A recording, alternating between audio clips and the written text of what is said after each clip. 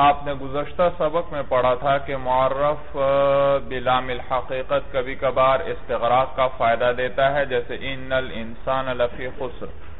یہاں پر الانسان پر جو الفلام داخل ہے، وہ لام حقیقت ہے، لیکن یہ استغراق کا فائدہ دے رہا ہے اور تمام افراد انسان مراد ہیں بھائی۔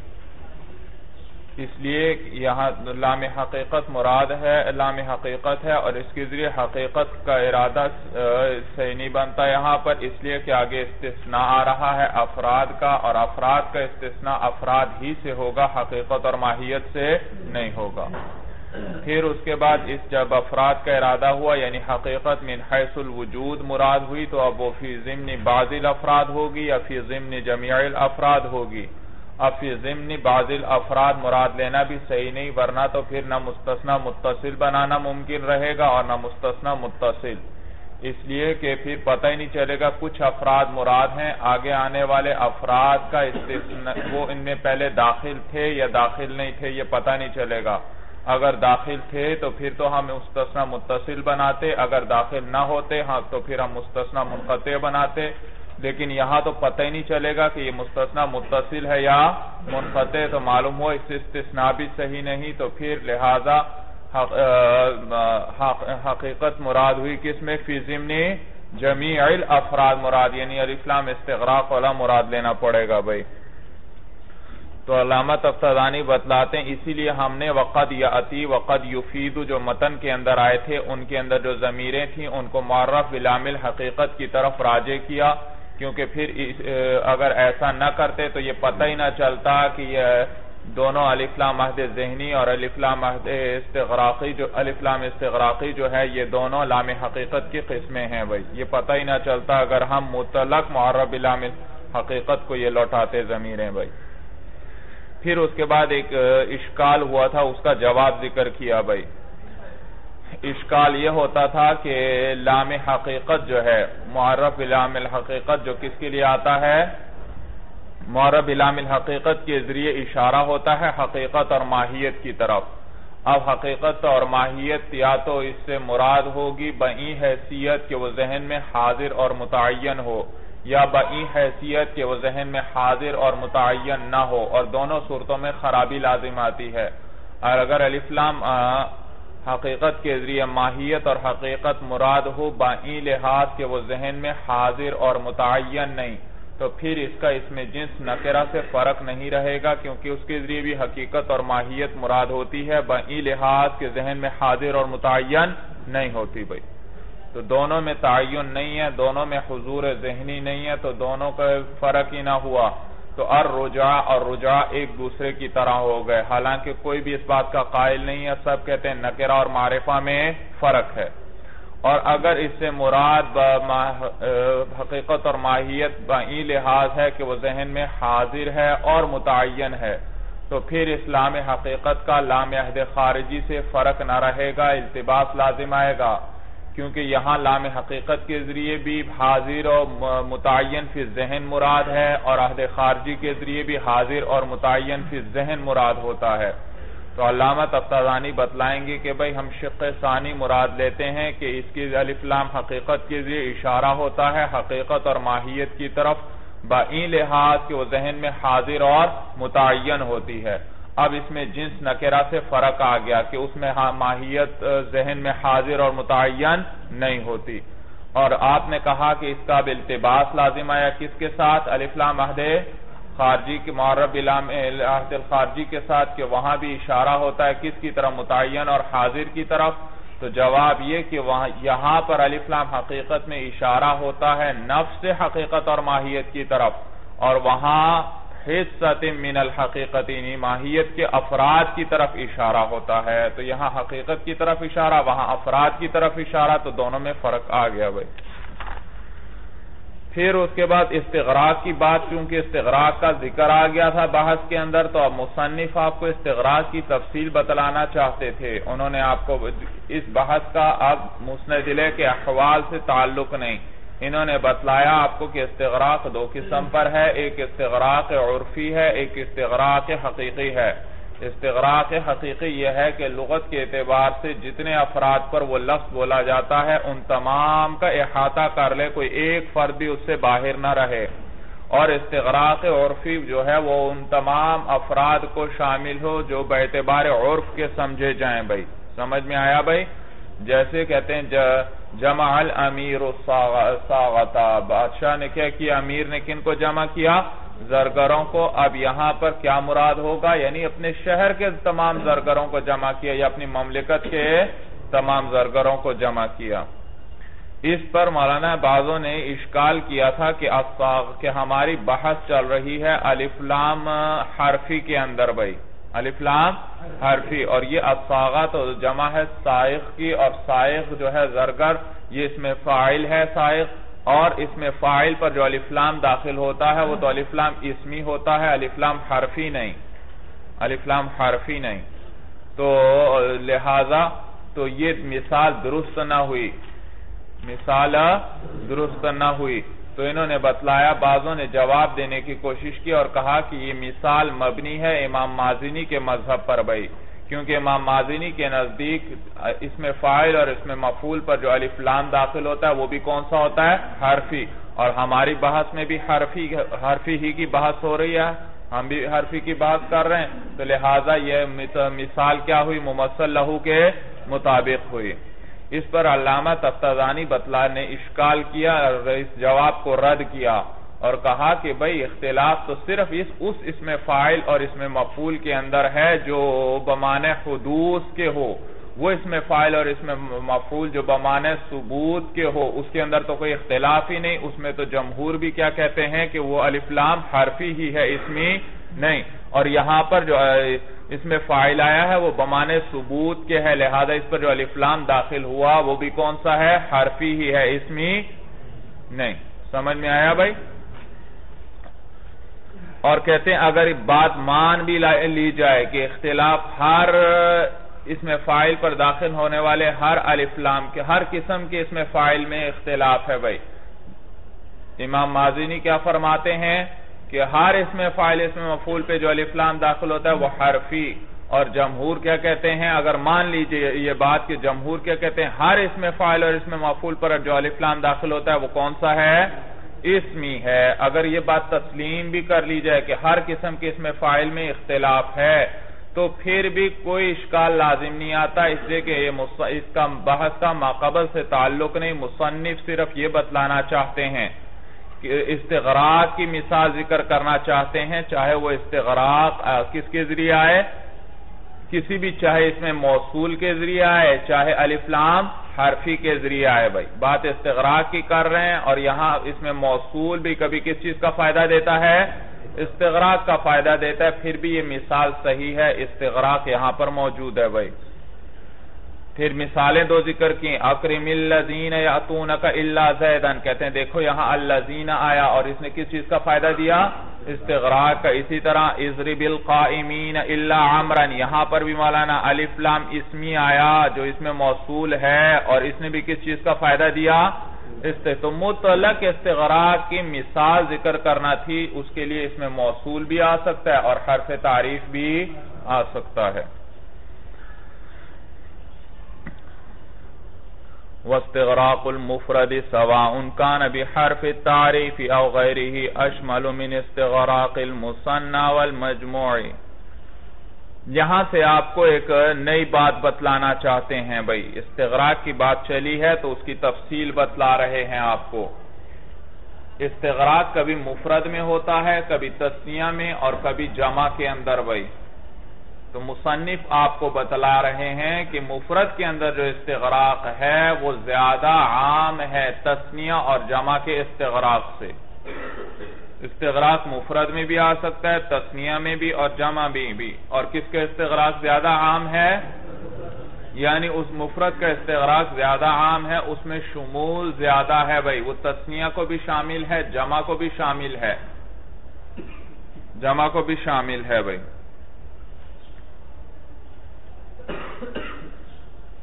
مثال کے طور پر مولانا، میں کہتا ہوں آپ سے لا رجلا فی الدار۔ کیا معنی گھر میں کوئی شخص نہیں۔ اب یہ استغراق آیا۔ کس کے ساتھ آیا مولانا؟ مفرد کے ساتھ۔ اور مفرد کے استغراق میں عموم زیادہ۔ اس نے تسنیہ کا بھی احاطہ کر لیا اور جمع کا بھی۔ اب گھر کے اندر اگر دو افراد ہوں تو میرا یہ کہنا صحیح نہیں۔ کیونکہ اس نے دو کا بھی کیا کر لیا؟ احاطہ کر لیا۔ اگر گھر میں تین یا زیادہ افراد ہوں، پھر بھی میرا یہ کلام صحیح نہیں رہتا۔ اس لیے کیونکہ اس نے جمع کا بھی کیا کر لیا ہے؟ یہ کلام اسی صورت میں صادق ہوگا جب گھر میں کوئی ایک فرد بھی نہ ہو۔ معلوم ہوا مفرد نے مفرد کا بھی احاطہ کر لیا، تسنیہ کا بھی احاطہ کر لیا اور جمع کا بھی احاطہ کر لیا۔ اس کے مقابلے میں اگر میں کہتا ہوں، لا رجلین فی الدار گھر میں دو آدمی نہیں ہے بھائی۔ اب اس نے مفرد کا احاطہ نہیں کیا۔ تسنیہ اور جمع کا احاطہ تو کر لیا، لیکن مفرد کا احاطہ مفرد، لہذا گھر میں ایک آدمی موجود ہو تو پھر بھی میرا یہ کلام صحیح معلوم ہوا، مفرد اس سے خارج ہوا۔ میں نے تو کیا کہا، لا رجلین فی الدار، گھر میں دو آدمی نہیں ہے اور گھر میں صرف ایک آدمی ہے۔ تو کلام صحیح ہے یا غلط بھائی؟ کلام صحیح ہے، معلوم ہو اس نے مفرد کا احاطہ نہیں کیا۔ اور میں کہتا ہوں، لا رجال فی الدار، جمع لے کر آتا ہوں۔ تو یہ جمع کا استغراق ہے، اس سے مفرد اور تسنیہ دونوں خارج ہو جاتے ہیں۔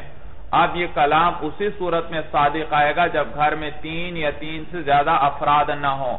اگر گھر میں ایک فرد ہے، اور میں کہتا ہوں، لا رجال فی الدار، میرا یہ کلام پھر بھی صحیح ہے۔ یا میں گھر میں دو افراد ہیں، میں کہتا ہوں، لا رجال فی الدار، گھر میں آدمی، یہ کلام پھر بھی صحیح معلوم ہوا، اس نے مفرد کا احاطہ بھی نہیں کیا اور جمع تسنیہ کا احاطہ بھی۔ تو مفرد کا جو استغراق ہے، وہ مفرد کو بھی کبھی احاطہ کر لیتا ہے، تسنیہ کا بھی احاطہ کر لیتا ہے، جمع کا بھی احاطہ۔ تسنیہ کا استغراق جو ہوتا ہے، وہ مفرد کا احاطہ نہیں کرتا۔ اور جو جمع کا استغراق ہے وہ مفرد کا بھی احاطہ نہیں کرتا اور تسنیہ کا احاطہ بھی تو کس میں عموم زیادہ آیا بھائی؟ مفرد کے استغراق میں عموم زیادہ آیا بھائی۔ دیکھیے بھائی۔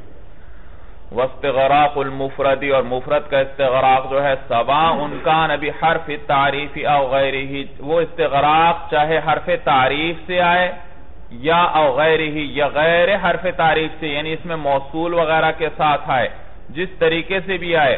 اشمل من استغراق المصنع والمجموع، یہ زیادہ شامل ہے یعنی زیادہ عام ہے تسنیہ اور جمع کے استغراق سے۔ بمعنی انہو یتناول کل فرد من الافرادی۔ با کہ یہ شامل ہوتا ہے ہر ایک کو افراد میں سے۔ والمصنع یتناول کل اسنینی اور تسنیہ شامل ہوتا ہے ہر اس دو کو۔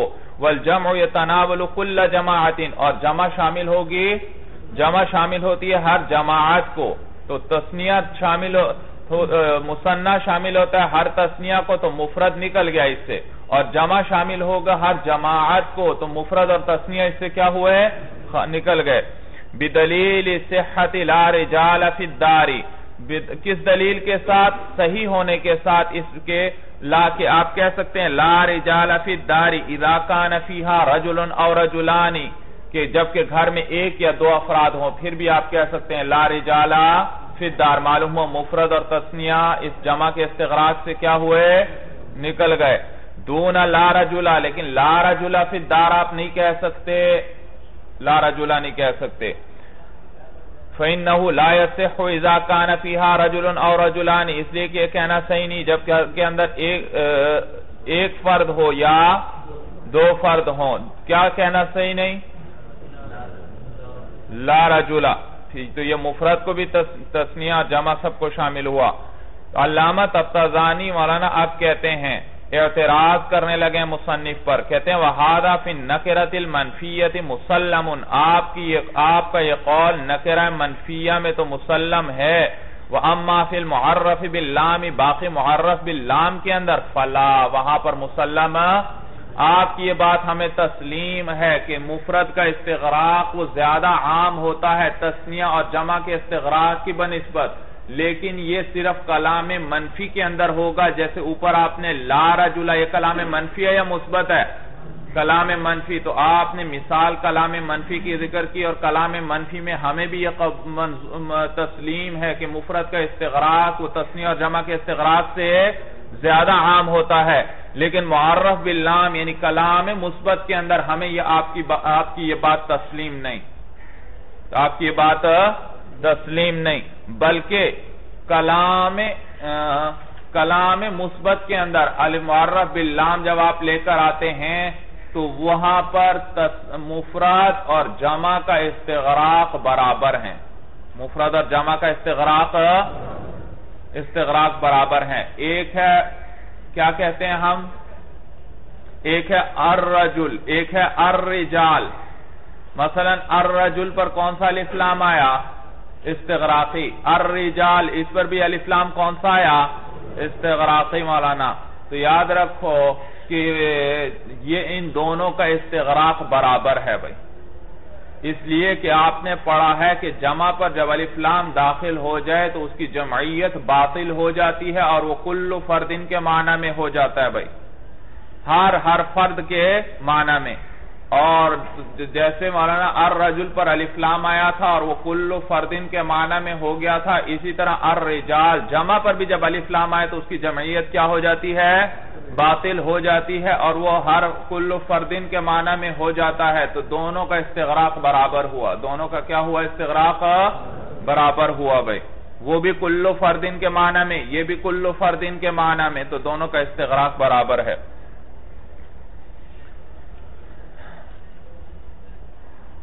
اعتراض سمجھ میں آیا بھائی علامہ تفتانی کا کہ کلام منفی میں تو ہمیں آپ کی بات کیا ہے؟ تسلیم ہے، لیکن کس میں؟ معرف باللام کے اندر۔ کلام مثبت کے اندر ہمیں آپ کی بات تسلیم نہیں ہے، تسلیم نہیں ہے۔ بل الجمع المعرف بلام الاستغراق، بلکہ وہ جمع جو معرف بلام الاستغراق ہو یہ تناول کل واحد من الافرادی وہ بھی شامل ہوتا ہے ہر ایک کو افراد میں سے۔ علامہ ذکرہ اکثر ائمت الاصول والنحو، بنا پر اس کے جی- جس کو ذکر کیا ہے؟ اکثر ائمہ اصول اور نحو نے۔ ودل علیہ الاستقراء، اور استقراء بھی اس پر دلالت کرتا ہے۔ استقراء کا معنی ہے جستجو۔ جستجو چھان بین بھئی یعنی کلام عرب کی جب ہم نے چھان بین کی، جستجو کی اس کی، تو اس میں بھی ہمیں معلوم ہوا کہ جو جمع کا استغراق ہوتا ہے، اس میں بھی کیا ہوتا ہے؟ عموم ہوتا ہے، جیسے مفرد کے استغراق کے اندر بھئی وہ اشارہ الہ ائمت التفسیر اور ائمہ تفسیر نے بھی اس کی طرف اشارہ کیا ہے۔ جیسے دیکھو مولانا، قرآن میں اللہ فرماتے ہیں جی؟ وَعَلَّمَ آدَمَ الْأَسْمَاءَ كُلَّهَا اور اللہ تعالیٰ نے سکھلائے حضرت آدم علیہ السلام کو ہر چیز کا نام بھائی۔ ہر چیز کا نام سکھلایا۔ الاسماء پر الفلام استغراقی ہے اور الفلام استغراقی جمع پر داخل ہو رہا ہے اور یہ ہر ہر فرد کو شامل ہے۔ کیا مفرد اور تسنیہ اس سے خارج ہیں؟ اللہ نے ہر چیز کا نام سکھلایا۔ ایک یا دو کوئی ایسی چیزیں رہ نہیں گئیں جن کا نام نہ سکھلایا ہو۔ تو دیکھو الفلام استغراقی آیا، جمع پر آیا اور اب یہ کس معنی میں ہو گیا؟ کل فردن، ہر ہر فرد کا احاطہ کر لیا۔ کیا کوئی ایک نام یا دو نام رہ گئے اس سے بھائی؟ نہیں بھائی، سمجھ میں آیا؟ تو اس نے، اسی طرح قرآن میں ہے بھائی، واللہ یحب المحسنین۔ اللہ احسان کرنے والوں سے محبت فرماتے ہیں، احسان کرنے والوں کو پسند فرماتے ہیں۔ تو یہاں پر بھی محسنین پر الفلام آیا۔ اور یہ الفلام کون سا استغراقی۔ اور اس نے تمام افراد کا احاطہ کر لیا۔ کیا کوئی ایک محسن یا دو محسن اس سے خارج ہو گئے؟ جی خارج نہیں بھائی۔ تمام افراد کے اس نے کیا کر لیا؟ احاطہ کر لیا بھائی۔ وقد اشبان الکلام فی حاد المقام فی الشرح فلیطالع سمہ اور تحقیق اشبہ یشبع اشبہ کا معنی ہے کسی کو کھانا کھلا کر سیر کرنا سیر کرنا۔ اور یہاں مراد ہے یعنی پوری طرح کلام کو بھی تفصیل کیا ہے۔ اور ہم نے سیر حاصل کلام کیا ہے فی حاد المقام، اس مقام کے اندر فی شرح، اپنی شرح کے اندر یعنی متول کی طرف اشارہ ہے کہ متول میں ہم نے یہاں پر بڑی تفصیل سے کلام کیا ہے مکمل۔ سَمَّا چاہیے کہ وہاں مطالعہ کیا جائے۔ وَلَمَّا كَانَ یہاں سے ایک اور اعتراض بھئی آگے آنے والے متن کے لیے بتلا رہے ہیں علامہ تفتازانی کہ آگے آنے والا متن ایک اعتراض کا جواب ہے۔ اعتراض یہ ہوتا ہے مولانا، اعتراض یہ کہ آپ نے کیا کہا؟ مفرد کا استغراق۔ کیا کہا آپ نے؟ مفرد کا استغراق۔ بھئی مفرد میں استغراق کہاں سے آ سکتا ہے؟ افراد و استغراق تو دونوں ایک دوسرے کے منافی ہیں۔ جہاں افراد ہے وہاں استغراق نہیں، جہاں استغراق ہے وہاں افراد، کیونکہ افراد میں وحدت ہے مولانا، اور استغراق کا کیا معنی؟ تمام افراد، تو اس میں تعدد ہے۔ تو وحدت اور تعدد تو ایک دوسرے کے منافی ہیں۔ معلوم ہوا افراد اور استغراق بھی ایک دوسرے کے منافی ہیں۔ وَلَمَّا كَانَ هَا هُنَا مَظَنَّتَ اعتراض، اور جب یہاں ایک جائے گمان تھی اعتراض کی یعنی محل اعتراض ہے، اعتراض سے وَهُوَ أَنَّ افراد الاسم يدل على وحدت معناه اس لیے ان افراد الاسم، اس لیے کہ مفرد کا اسم کا مفرد ہونا وہ دلالت کرتا ہے وحدت معنی پر۔ والاستغراق يدل على تعدده، اور استغراق دلالت کرتا ہے کس پر تعدد معنی پر وہما متنافیانی اور وہ دونوں آپس میں کیا ہیں؟ وحدت وحدت، اور تعدد متنافی ہیں۔ تو عجاب عنہ بقوله، تو یہ اعتراض ہوتا تھا تو مصنف نے کہتے ہیں اپنے اس قول کے ساتھ اس کا جواب دیا ہے۔ آگے جواب ذکر ہوں گے اس اعتراض کے۔ دو جواب ذکر ہوں گے مولانا، ایک تسلیمی، ایک منعی بھائی۔ ایک تسلیمی اور ایک، اعتراض کیا کیا بھائی کہ افراد اور استغراق دونوں متنافی ہیں کیونکہ افراد میں وحدت ہے اور استغراق میں تعدد ہے اور تعدد اور وحدت ایک دوسرے کے منافی۔ تو بتلائیں گے بھائی کہ ہاں آپ تسلیمی جواب، ہمیں آپ کی بات کیا ہے؟ تسلیم ہے۔ ہمیں آپ کی بات کیا تسلیم ہے کہ افراد اور استغراق میں منافات ہے؟ ہمیں تسلیم ہے۔ دوسرا کہ نہیں، آپ نے کیا کہا؟ استغراق اور افراد میں منافات ہے۔ منعی جواب، ہمیں یہ بات تسلیم ہی نہیں ہے۔ استغراق اور افراد میں کوئی منافات نہیں۔ تو پہلا جواب کیا ہے؟ تسلیمی، کہ ہمیں تسلیم ہے۔ افراد اور استغراق میں کیا ہے؟ منافات ہے، تسلیمی جواب یہ بھائی۔ ہاں آپ کی بات ہمیں تسلیم ہے، افراد اور استغراق میں منافات ہے، کیونکہ افراد کس پر دلالت کرتا ہے؟ وحدت پر۔ اور استغراق کس چیز پر دلالت کرتا ہے؟ تعدد پر۔ لیکن جب ہم مفرد پر الفلام داخل، استغراقی داخل کرتے ہیں، تو پہلے اس مفرد کو وحدت سے خالی کر لیتے ہیں۔ اس مفرد کو کیا کر لیتے ہیں؟ جیسے رجلن ہے مولانا۔ رجلن کیا اس میں کیا تھا؟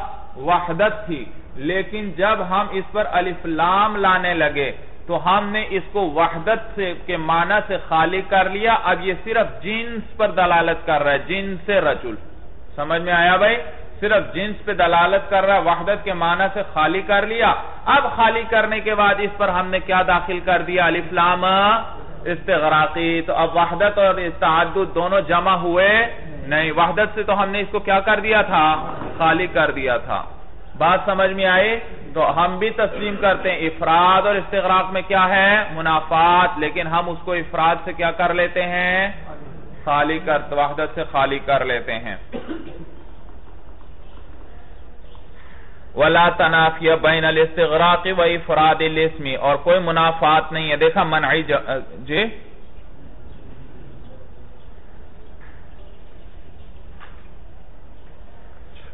پہلا کیا جواب گزرا؟ تسلیمی جواب ہے۔ اچھا ہاں دیکھیے، یہی بات کر رہیں گے۔ ولا تنافیہ بین الاستغراق و افراد کوئی منافات نہیں استغراق و افراد اسم میں۔ لئن الحرف الدال علی اس لیے کہ وہ حرف جو دلالت کرتا ہے استغراق پر، کا حرف نفی و تعریف، جیسے حرف بھائی اوپر حرف نفی، لا رجلہ کے اندر اس نے کس چیز کے لیے کا فائدہ دیا تھا؟ استغراق کا۔ وہ تعریف، اور جیسے حرف تعریف لام، وہ بھی کبھی کس چیز کا فائدہ دیتا ہے؟ تو اس، تو وہ حرف جو دلالت کرتا ہے استغراق پر، انما يدخل علیہ ای علی الاسم المفردی وہ داخل ہوتا ہے اس مفرد اسم پر۔ حال کونہی مجردن عن الدلالت عن معنی الوحدتی، اس حال میں کہ اس کیا ہوتا ہے؟ خالی ہو کیا جاتا ہے، کس سے؟ خالی ہوتا ہے یعنی دلالتی علی محن الوحدتی۔ وحدت کے معنی پر دلالت سے کیا ہوتا ہے؟ خالی ہوتا ہے۔ کما انہو مجرد عن دلالتی علی التعددی، جیسے کہ وہ خالی ہوتا ہے تعدد پر دلالت سے۔ بھئی رجل پر رجل کس پر دلالت کر رہا تھا؟ وحدت پر۔ لیکن ہم نے اس کو کیا کر دیا؟ الفلام استغراقی داخل کرنے سے پہلے وحدت سے۔ تو جب یہ مولانا وحدت پہ دلالت نہیں کر رہا، جیسے کہ یہ تعدد پر بھی دلالت نہیں کر رہا، پھر اس پر وہ داخل کر دیا بھئی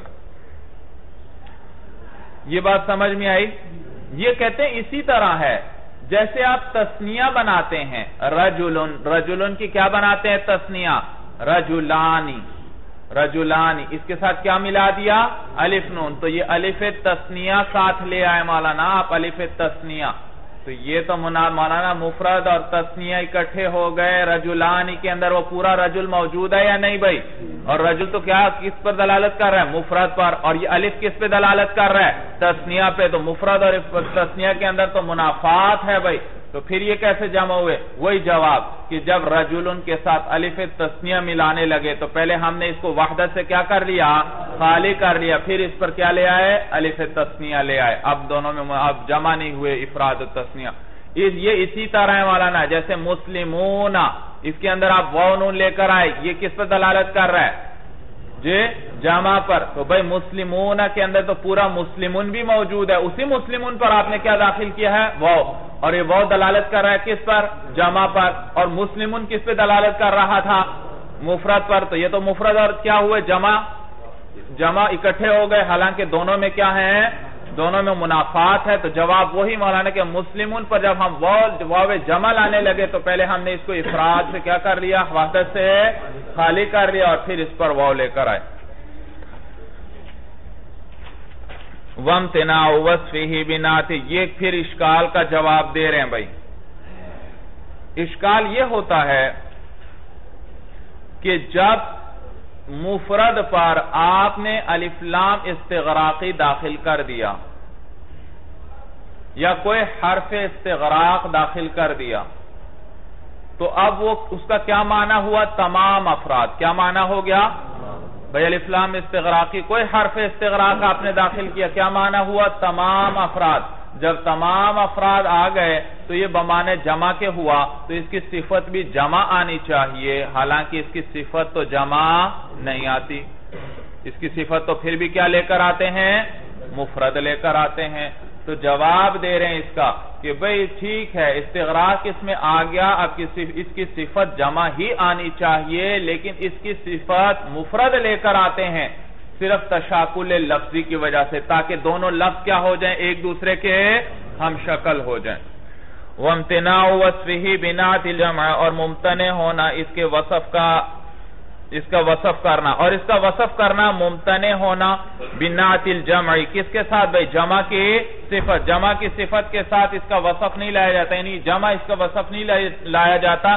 للمحافظت للمحافظت علی التشاکل اللفظی. کس پر محافظت کے لیے؟ تشاکل تشاکل لفظی پر محافظت کے لیے. یعنی تشاکل لفظی کی حفاظت ہو گئے. جی یہ ایک جواب تھا پہلا جواب تسلیمی کہ ہمیں بھی تسلیم ہے۔ وحدت اور تعدد میں افراد اور استغراق میں کیا ہے؟ منافات ہے، لیکن پھر بھی یہ دونوں جمع نہیں ہو رہے کیونکہ ہم نے اس کو وحدت سے خالی کر لیا تھا۔ دوسرا جواب منعی ہے۔ ہمیں تسلیم ہی نہیں کہ افراد اور استغراق میں کیا ہے؟ منافات ہے۔ تو دوسرا جواب کیا ہے؟ استغراق، ہم کہتے ہیں، لا نسلم، ہمیں آپ کی بات تسلیم نہیں۔ استغراق اور افراد میں کوئی منافات نہیں۔ اس لیے کہ استغراق کا معنی ہے تمام افراد، جمیع افراد۔ اور جمیع افراد کی دو صورتیں ہیں۔ کتنی صورتیں ہیں؟ دو صورتیں ہیں کہ جمیع افراد بحثیت اجتماعی کے مراد ہوں۔ ایک صورت یہ۔ جمیع افراد بحیثیت اجتماعی مراد ہوں اور یا جمیع افراد بحیثیت کل فردین کے مراد ہوں۔ جمیع افراد بحیثیت کل فردین کے مراد ہوں۔ یعنی علا سبیل البدل۔ علا سبیل دیکھو الرجل پر ہم نے الفلام داخل کیا اور آپ نے کیا کہا؟ الرجل تو کیا ہے اس میں؟ یہ تو مفرد رجل تو مفرد ہے اور الفلام آئے استغراق کے لیے اور افراد اور استغراق میں کیا ہے؟ منافات۔ ہم کہتے ہیں نہیں بھائی، استغراق و افراد میں منافات نہیں۔ دراصل استغراق کا کیا معنی ہوا؟ تمام افراد، جمیع افراد۔ اور جمیع افراد لینے کی دو صورتیں ہیں۔ ایک یہ کہ سب کو اکٹھا مراد لیا جائے۔ اور ایک یہ ہے کہ ہر ایک ایک فرد اعلیٰ سبیل البدل مراد ہو۔ تو اس صورت میں تو منافات تھی، جبکہ تمام افراد اکٹھے مراد لیے جاتے۔ کیونکہ رجل دلالت کرتا ہے افراد پر اور الفلام دلالت کرتا ہے استغراق پر، تو رجل کیا کر رہا ہے؟ ایک فرد پہ دلالت کر رہا ہے اور الفلام کس پہ دلالت کر رہا ہے؟ تمام افراد پر، من حیث المجموع، تو ایک بھی مراد ہو اور تمام من حیث المجموع بھی مراد ہو یہ تو آپس میں کیا ہے؟ منافات ہے۔ لیکن ہم کہتے ہیں یہاں استغراق آیا کس حیثیت سے؟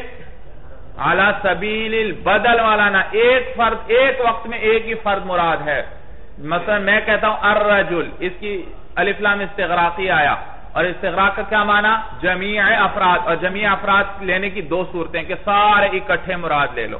اور ایک یہ مولانا کہ ایک ایک فرد میں لیتا ہوں، یہ بھی شامل ہے، یہ بھی شامل ہے، یہ بھی شامل ہے۔ اب بتائیے مولانا، تمام افراد بھی آ گئے اور افراد کے ساتھ اس کی منافات بھی؟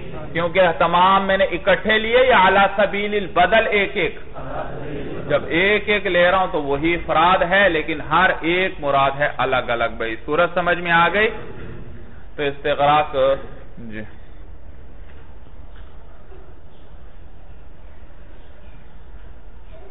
وَلِأَنَّهُ أَيِ الْمُفْرَدَتْ دَاخِلَ عَلَيْهِ حَرْفُ الْإِسْتِغْرَاقِ اور اس لیے کہ وہ مفرد جس پر حرف استغراق داخل ہو، بمعنی کل فردین وہ کس معنی میں ہوتا ہے؟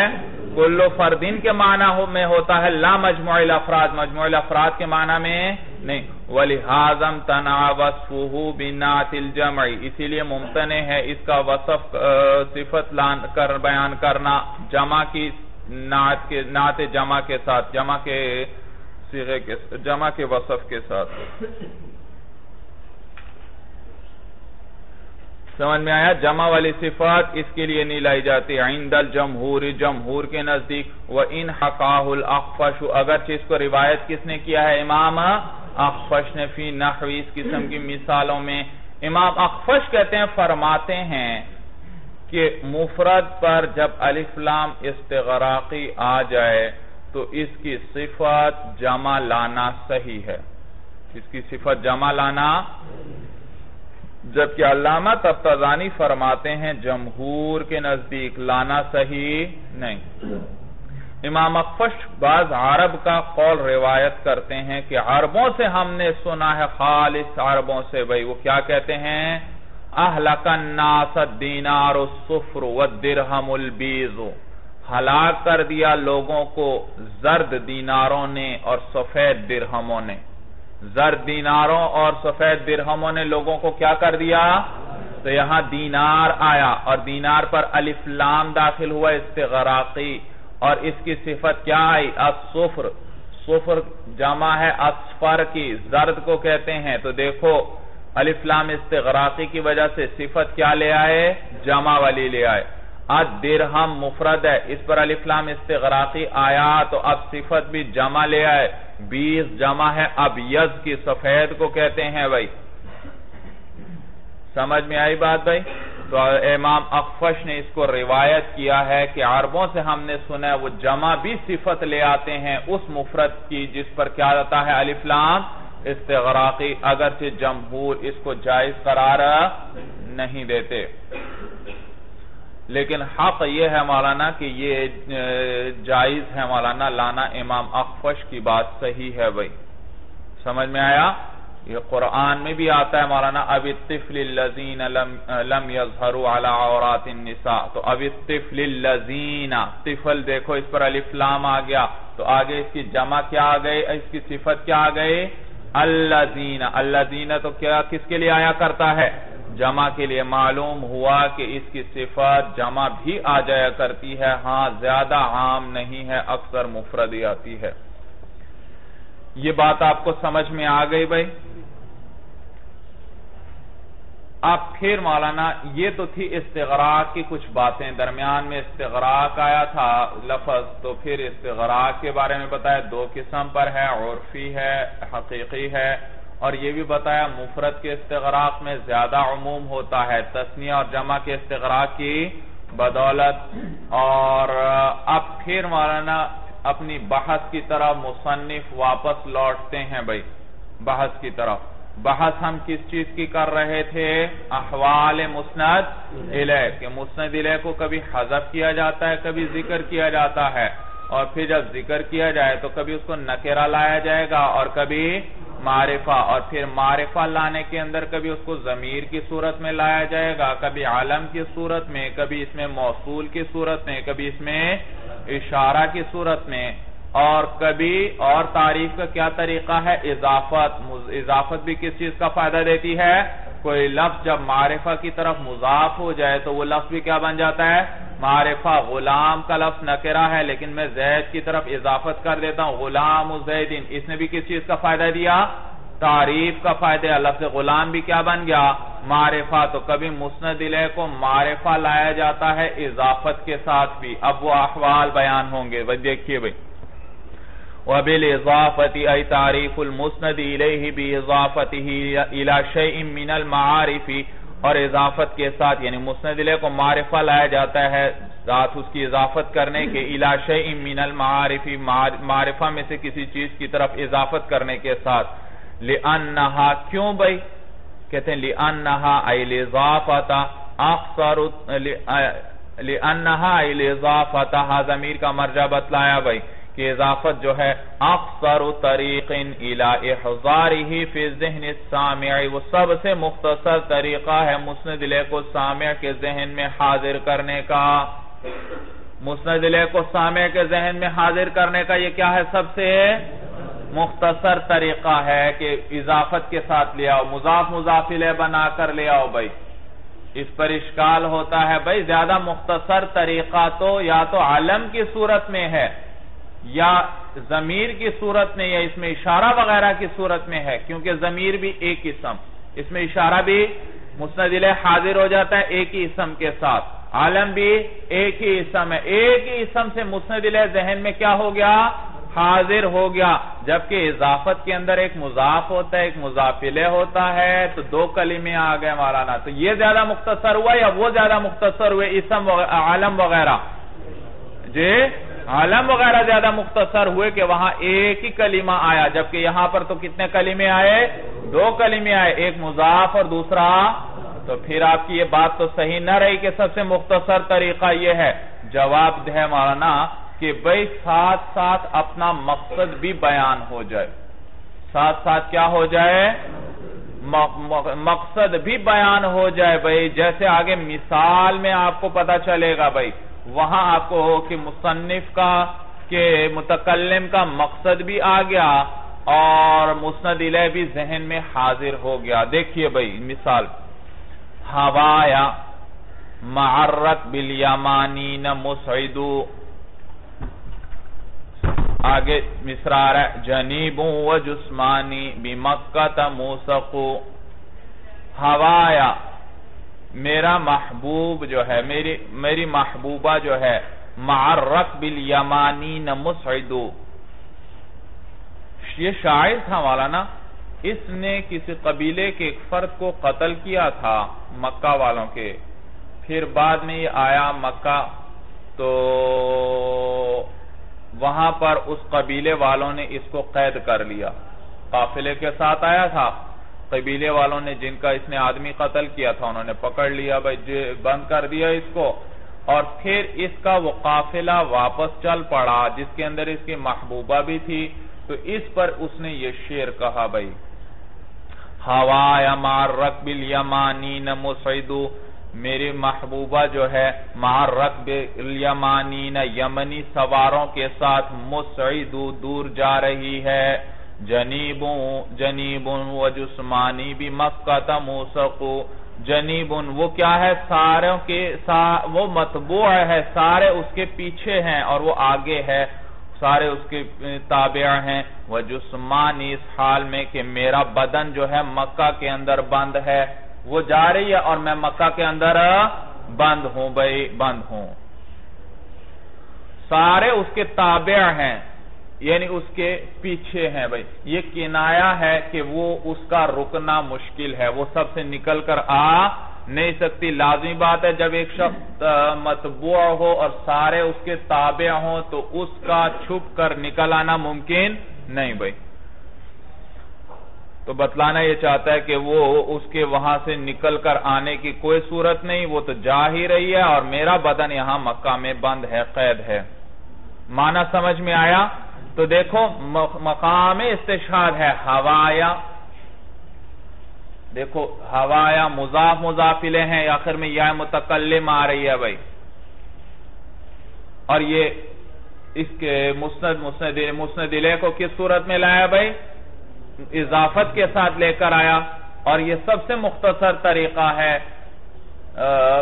کہ مقصد بھی بیان ہو گیا۔ بتلانا یہ چاہتا تھا کہ وہ میرا محبوب ہے۔ کیا ہے وہ؟ میری محبوبہ ہے۔ اور یہ عالم ذکر کرتا تو یہ پتا چلتا کہ وہ محبوبہ ہے۔ جی اس میں اشارہ، ضمیر، کسی چیز سے بھی مقصد کا پتہ نہ چلتا تو مقصد کا پتہ بھی چل گیا اور سب سے مختصر طریقہ بھی ہوا۔ اگر اس کے بجائے اس میں موصول لاتا پھر تو بات بڑی لمبی ہو جاتی۔ کیونکہ موصول لاتا، آگے پورا سلا جملہ لانا پڑتا، تو بات لمبی ہوتی اور یہ مختصر طریقہ ہے۔ ہوایا اے محوی جی، اے محوی جی، مولانا، یہ کتابت کی غلطی ہے محوی جی ہونا چاہیے بھائی۔ یہ تین یا ہے تین یا۔ ہوا یحوی سے اس میں مفعول ہے محویون بروزن مرمیون۔ تو محویون میں کتنی یا ہوئی بھائی؟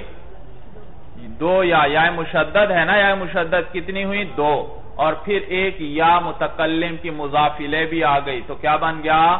محوی یہ تین یا ہوئی بھائی۔ ہوایا اے محوی یعنی میری محبوبہ۔ وَهَذَا أَقْصَرُ اور یہ کلام زیادہ مختصر ہے۔ اس کلام سے الَّذِي أَحْوَاهُ وہ جس سے میں کیا کرتا ہوں؟ محبت کرتا ہوں وَنَحْوَ ذَلِكَ اس جیسے کلام سے۔ وَالْإِخْتِصَارُ مَطْلُوبٌ، اور اختصار بھی مطلوب ہے۔ بتلایا بھئی مختصر طریقے سے مسند علیہ کو سامع کے ذہن میں حاضر کرنا اپنے مقصد کے ساتھ، جبکہ اختصار مطلوب بھی ہو۔ جبکہ اختصار کیا ہو؟ مطلوب بھی ہو بھئی اختصار مطلوب بھی ہو۔ لذیق المقامی اختصار کیوں مطلوب ہے مولانا؟ ذیق مقام کی وجہ سے مولانا ذیق مقام کی وجہ سے بھئی مقام تنگ ہے بھئی یوں کہہ لو، یہ شیر کی وجہ سے بھئی سمجھ میں آیا؟ شیر کا وزن سے نہیں رہتا۔ یا ذیق مقام سے مراد کیا ہے؟ آگے اسی کی تفسیر آ رہی ہے۔ کہ ذیق مقام یعنی تکلیف میں ہے۔ کس میں ہے یہ؟ تکلیف میں ہے اور جب تکلیف میں ہو انسان تو پھر زیادہ کلام کرنا لمبا کلام کرنا پسند نہیں کرتا، جیسے بیماری وغیرہ میں ہوتا ہے۔ جی۔ لذیق المقامی مقام کی تنگی کی وجہ سے وفارت سعامتی سعامت کہتے ہیں مولانا، اکتانا، دل اچاٹ ہونا۔ مقام کی تنگی کی وجہ سے اختصار مطلوب ہے۔ وفارت سعامتی شدت اور شدت اکتاہٹ کی وجہ سے۔ لکونی ہی فی بوجہ شاعر کے ہونے جیل کے قید میں۔ والحبیب علی الرحیلی اور حبیب کے سفر پر ہونے کی وجہ سے۔ حبیب کے سفر پر ہونے کی وجہ سے۔ رحیل کا معنی سفر اور روانگی یعنی سفر اور روانگی کا عظم کیے ہوئے ہے حبیب بھائی۔ والحبیب عازم علی الرحیل، عظم کر۔ مع الرقب الیمانین رقب یہ تو یا تو مولانا جمع راکب ہے یا یہ اس میں جمع ہے جس کا مفرد نہیں یعنی اس میں جمع ہے، جمع کے معنی میں ہے، جمع کے معنی میں ہے ہے مفرد۔ معرق بالیمانین یمنی سواروں کے ساتھ مسعدو، اے مبعدو۔ دور جا رہی دور جا رہا ہے۔ محبوب کیا ہے؟ دور جا رہا ہے۔ بھئی مبعد ابعاد یبعد ابعادن کا ایک معنی ہے دور کرنا اور ایک معنی ہے دور ہونا۔ یعنی یہ متعدی بھی مستعمل ہے اور لازمی بھی۔ تو علامہ تفتازانی بتلا رہے ہیں، یہاں یہ لازمی معنی میں ہے یعنی دور ہو رہی ہے۔ خود بتلا رہے ہیں ذاہب فی الارض، زمین میں جا رہا ہے یعنی دور ہو رہا ہے، تو یہ لازمی معنی میں ہے۔ وہ تمام ہو اور پورا یہ ہے شیر جنیب و جسمان جنیب وہ مطبوع ہے سب کا۔ وہ جسمانی بھی مکہ تمو سخو اور میرا بدن جسم مکہ کے اندر قید ہے۔ الجنیب، المجنوب، جنیب کس معنی میں ہے؟ مجنوب۔ فائل وزن کبھی فائل کے معنی میں ہوتا ہے، کبھی مفعول۔ یہاں فائل وزن کس معنی میں ہے؟ مفعول میں۔ اور المجنوب کیا معنی؟ المستطبع مستطبع. استطبع کا معنی ہوتا ہے پیروی کرانا پیروی کرانا. تو مستطبع جس کی پیروی کی جائے یعنی سارے اس کے پیچھے چل رہے ہیں بھائی. والجسمان شخص اور جسمان کا کیا معنی ہے؟ شخص اور فرد کے معنی میں بھائی. جسم بھائی. والموسق المقید، اور موسق کا کیا معنی ہے؟ مقید، قید ہے. وَلَفْظُ الْبَيْتِ خَبَرٌ اور یہ شیر کا لفظ جو ہے یہ خبر ہے۔ بھئی صورت کے اعتبار سے تو یوں ہے جیسے یہ خبر دے رہا ہے۔ شاعر کیا کر رہا ہے؟ آپ کو ایک بات بتلا رہا ہے۔ لیکن مقصد بات بتلانا نہیں ہے۔ مقصد اظہار غم ہے۔ مقصد کیا ہے؟ اظہار غم ہے۔ وَمَعْنَاهُ تَعَصُفٌ وَتَحَسُرٌ۔ اور اس کا معنی کیا ہے؟ افسوس اور حسرت کا اظہار کرنا ہے۔ افسوس اور حسرت بتلانا ہے۔ جیسے مولانا وہ مثال نہیں پڑی تھی آپ نے۔ کہ خبر کو یا تو فائدت الخبر کے لیے ذکر کیا جاتا ہے، یا لازم فائدت مثلا میں نے آپ کو کہا زید قائم، یا تو آپ کو اس سے قیام زید کا پتہ چلے گا، یا میرے اس کے عالم ہونے کا پتہ چلے گا، تو یا فائدت الخبر کا فائدہ ہوگا، یا لازم فائدت الخبر کا۔ لیکن کبھی کبھار دونوں مقصود نہیں ہوتے، دونوں مقصود نہیں ہوتے۔ جیسے حضرت مریم نے کیا فرمایا تھا؟ جی؟ امرہ عمران نے، امرہ عمران نے کیا کہا تھا؟ رب انی وضعتها انسا، تو یہاں پر خبر دینا بھی مقصد نہیں، کیونکہ اللہ ہر چیز کو جانتے ہیں۔ اور مولانا، اپنے علم بتلانا بھی مقصد نہیں، کیونکہ اللہ اس کو بھی جانتے ہیں۔ بلکہ اس کلام کو، اس خبر کا کیا مقصد تھا؟ اظہار افسوس تھا بھائی۔ تو یہاں بھی اسی طرح۔ او لتضمنیہا ای لتضمنی لضافتی تعظیما۔ یا مولانا مسند علیہ کو معرفہ لاتے ہیں اضافت کے ساتھ۔ اس وجہ سے کہ اضافت متضمن ہوتی ہے تعظیم کو۔ کس کی تعظیم؟ لشان المضافلہ وہی مضافلہ کی مضافلہ کی۔ او المضافی او غیرہما۔ یا تو اس میں مضافلہ کی عظمت ہوگی تعظیم یا مضاف کی تعظیم یا ان دونوں کے علاوہ کی۔ جیسے مثالوں سے بات سمجھ میں آئے گی۔ قولک فی تعظیم المضافلی جیسے آپ مضافلے کی تعظیم میں کہتے ہیں عبدی حاضارا عبدی میرا غلام حاضر ہے۔ بھئی آپ نے سادہ لباس پہنا ہوا ہے، سادہ سے کپڑے پہنے ہوئے ہیں اور پگڑی باندھی ہوئی ہے، سادہ لباس ہے۔ کہیں کھڑے ہیں کہ لوگوں کے ساتھ کچھ بات چیت میں مصروف ہیں۔ وہ لوگ، اب آپ کو اتنی اہمیت نہیں دے رہے کہ یہ تو عام سا کوئی آدمی ہے۔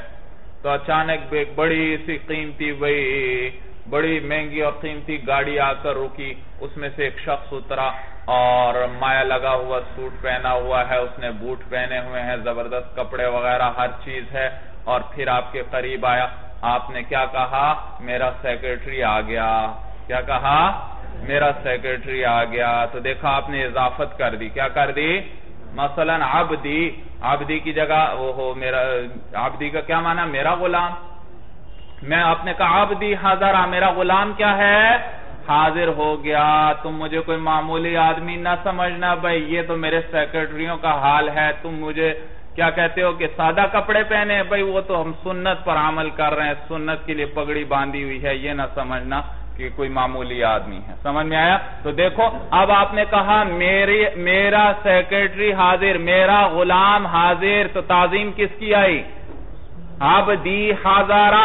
عبد کی تعظیم مقصود ہے یا مضافل ہے جو متکلم ہے؟ اس کی تعظیم ہے بھائی۔ مضافلے کی تعظیم آ گئی۔ تعظیم لکا اپنی تعظیم کے لیے بھی، ان لکا عبدن کہ آپ کا کیا ہے؟ غلام ہے. وفی تعظیم المضافی اور مضاف کی تعظیم میں جیسے آپ کہتے ہیں عبد الخلیفت رقیبہ خلیفہ کا غلام کیا ہو گیا؟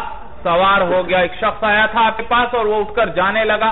جب جانے لگا سواری میں بیٹھا، آپ نے ساتھ والوں کو کہا، عبد الخلیفت خلیفہ کا غلام کیا ہو گیا؟ سوار کہ بھئی یہ جو آدمی بیٹھا تھا سادہ سا، اس کو معمولی آدمی نہ سمجھنا، یہ تو کون ہے؟ خلیفہ کا غلام ہے بھئی۔ تعظیم للعبد بھی انہو عبد للخلیفت عبد کی تعظیم کے لیے کہ وہ خلیفہ کا عبد ہے۔ تو یہ دیکھو، پہلی مثال کس کی تھی؟ مضافلے کی تعظیم۔ دوسری تعظیم کس کی ہے بھائی؟ جی دوسرے میں مضاف، عابد کی تعظیم ہے، خلیفہ کی نہیں بھائی۔ وفی تعظیم غیر المضافی والمضافی علیہ اور کبھی مضاف کی بھی تعظیم مقصود نہیں ہوتی، مضافلے کی بھی نہیں، بلکہ ان دونوں کے علاوہ۔ جیسے آپ کہتے ہیں، عبد السلطان عندی، بادشاہ کا غلام میرے پاس ہے، آپ بتلانا چاہتے ہیں، میں کوئی معمولی آدمی نہیں ہوں، بلکہ میرے پاس بادشاہ کے غلام بھی حاضر ہوتے ہیں۔ تو دیکھا یہاں، عبد عبد السلطان، عبد مضاف، السلطان مضاف علیہ نہ تو غلام کی تعظیم مقصود، نہ سلطان کی تعظیم مقصود، بلکہ عندی۔ کس کی تعظیم ہے؟ متکلم کی۔ تو نہ وہ مضاف ہے اور نہ مضافون علیہ ہے۔ آگے اس پر اشکال ہوتا ہے۔ دیکھیے پہلے، تعظیماً للمتکلمی بیاننا عبد السلطان عندہ متکلم کی تعظیم کے لیے کہ بادشاہ کا غلام اس کے پاس ہے۔ اس پر اشکال ہوتا ہے، آپ نے کہا کہ نہ مضاف کی تعظیم مقصود ہوتی ہے، نہ مضافلے کی، بلکہ غیر ہو، ان سے، ان دونوں کے علاوہ کی۔ حالانکہ عندی کے اندر عندہ مضاف ہے اور یا زمین مضاف الہ ہے، یہ تو پھر بھی مضاف الہ کی تعریف ہو گئی۔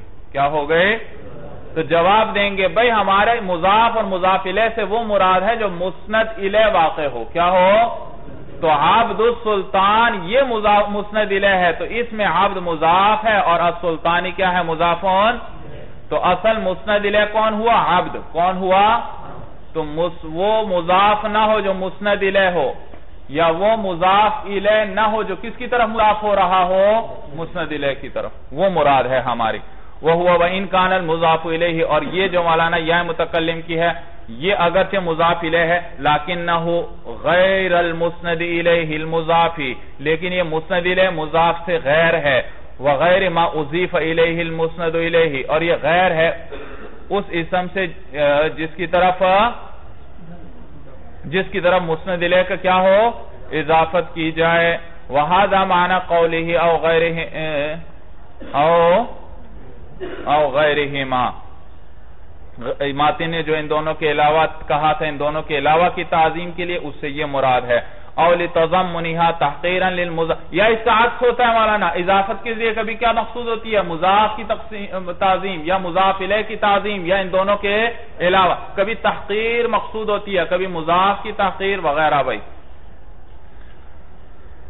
دیکھیے، مضاف کی یا مضافلے کی یا ان دونوں کے علاوہ کسی کی تحقیر مقصود ہوتی ہے۔ جیسے آپ کہتے ہیں ولد الحجام حاضرون۔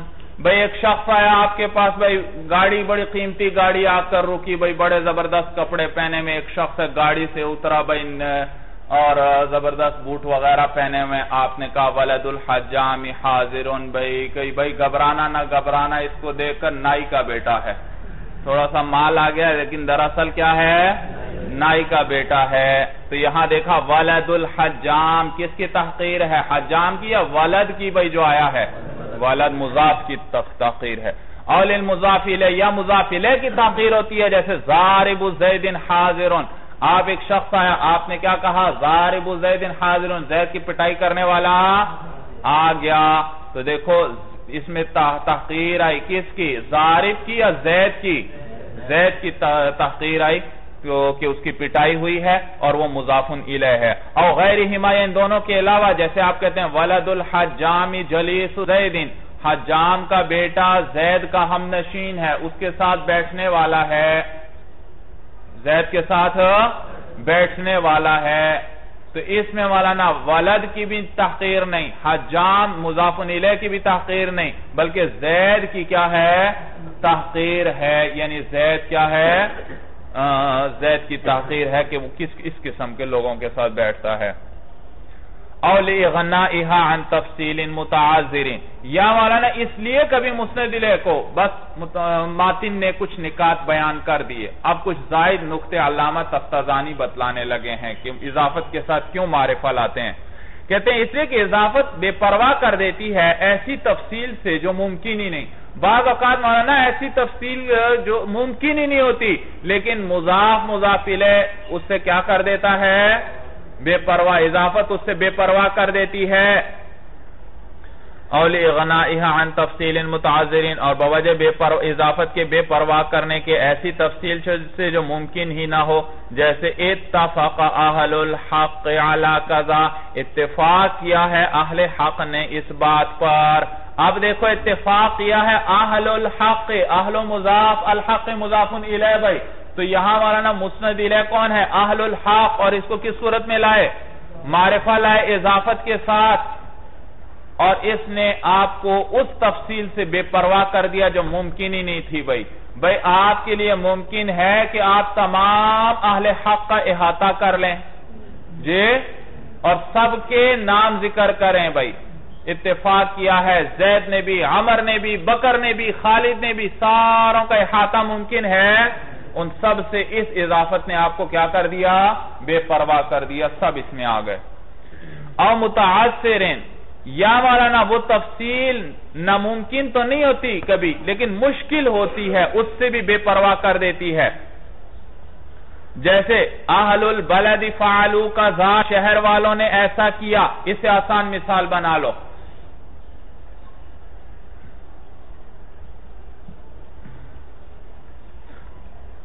مثلا میں کہتا ہوں، طلاب درجت الخامست فعلو قضا خامسہ والوں نے ایسا کیا۔ سمجھ میں آیا؟ اب دیکھیے، میں نے اضافت کے ساتھ معرفہ ذکر کیا۔ اب یہاں پر خامسہ کے تمام طلبہ کا نام لیا جائے، ایک ایک لڑکے کا۔ یہ اگرچہ ناممکن تو نہیں، لیکن مشکل ضرور ہے۔ تو اس مشکل تفصیل سے اضافت نے کیا کر دیا؟ بے پرواہ کر دیا۔ جیسے اہل البلد فعلو قضا شہر والوں نے ایسا کر دیا۔ اب دیکھو، شہر والوں کے نام سب کے، یہ ناممکن تو نہیں، ممکن تو ہیں، لیکن کیا ہے؟ بڑا مشکل ہے۔ وَلِأَنَّهُ يَمْنَوْ عَنِ تَفْصِيلِ اَوْلِأَنَّهُ يَمْنَوْ عَنِ تَفْصِيلِ مَانِعُ، یا اس لیے والا کہ کبھی کبھار تفصیل سے کوئی مانع ہوتا ہے تو اس صورت میں بھی یہ بے پرواہ کر دیتا ہے۔ مثل تقدیم البازی علی البازی جیسے بعض کو بعض پر مقدم کرنا، نحو علماء البلد حاضرون۔ جیسے آپ کہتے ہیں مولانا، علماء البلد حاضرون، شہر کے علماء کیا ہیں؟ حاضر ہیں۔ اب ٹھیک ہے مولانا، شہر میں آٹھ دس علماء تھے اور ان کا نام ذکر بھی ہو سکتا تھا اور مشکل بھی نہیں ہے، چھ سات نام ہیں، لیکن مانع موجود ہے۔ کیا مانع جب ذکر کریں گے، لازمی بات ہے کسی کے نام کو مقدم کرنا پڑے گا، کسی کے نام کو کیا کرنا پڑے گا؟ مؤخر کرنا پڑے گا۔ تو یہ بات کے لیے اب یہ فیصلہ کرنا بڑا مشکل ہو گیا کہ کیا کس کو مقدم کریں اور کس کو مؤخر کریں۔ تو یہ معنی آ گیا۔ تو کوئی معنی ہوتا ہے تفصیل سے، جیسے بعض کو بعض پر مقدم کرنا، جیسے آپ کہتے ہیں، تو اب علماء البلد حاضرون، آپ نے مزا مضافلے کے ساتھ ذکر کر دیا۔ اب یہاں اس تفصیل سے کیا ہوئی؟ کی احتیاج نہ رہی۔ الى غیر ذالک من الاعتبارات، اس کے علاوہ بھی اور اعتبارات ہوتے ہیں۔ یہ چند کہتے ہیں ہم نے ذکر کر دیے۔ چلیے مولانا حادف المرام۔ اللہ علم بحقیقت الکلام۔